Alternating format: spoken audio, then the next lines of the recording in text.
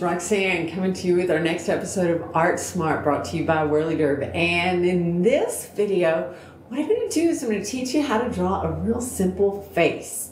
So what we're going to do is take you, learn a little bit of the math behind it because once you can divide, take a circle, divide it into fourths, it's going to help how you draw a face. So let me pop over here. Let's switch over to our document camera and this is what I want you to do. Uh, we're going to actually draw one face. We'll do it on a quarter sheet of paper. But if you just have some scratch paper, go ahead and draw an oval and divide it into fourths. So I've got three ovals here. You might want to do a circle there, maybe a rectangular shape if you'd like. So go ahead and do that. And what I'm going to show you is this is the key to the face. So with our faces, what you want to do is where your eyes go on the page is a lot lower than most people think.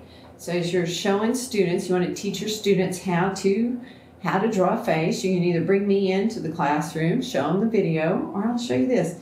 So you have your circle. what you're going to do here, let's put a couple of just dots there for our eyes. Little eyebrows above them. Put a little nose there on that midline coming down. A little smile there. To put a little ear on each side. So there we've got our little ears there. And then the next thing we're going to do is we're to make our hair kind of come up. We've got a little short hair on this one. A little guy coming up here, a little hair coming up there.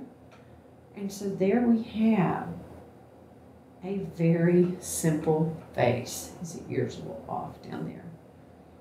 But you can just practice uh, doodling this for a while you can have a little curve with a little dot on it coming down.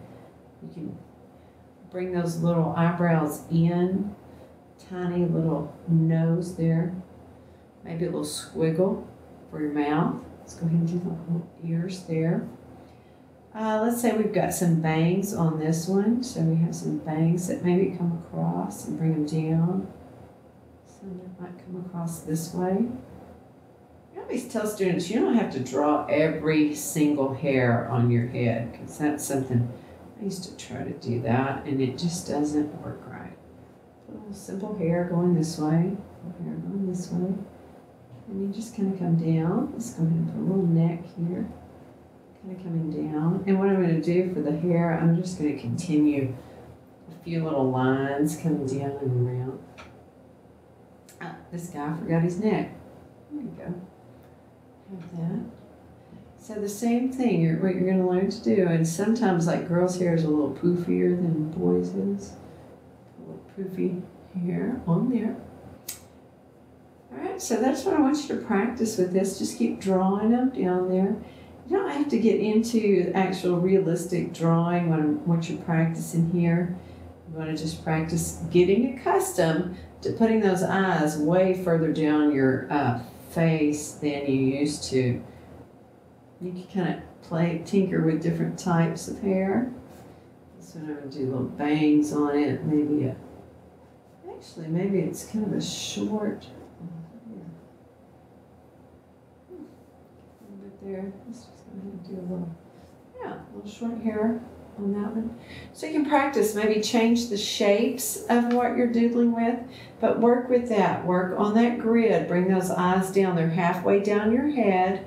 Your ears are going to be in alignment with your eyes. Your nose is about halfway from that intersection of the two lines, about halfway, maybe a third of the way down.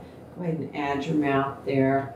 And then Give it a neck. Remember, your head weighs about eight pounds, so make sure you give it a, a really substantial neck, not like a little lollipop stick.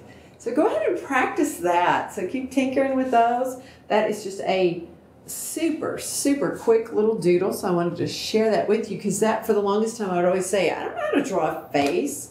It's all about looking, you know, and so have students start to look at that.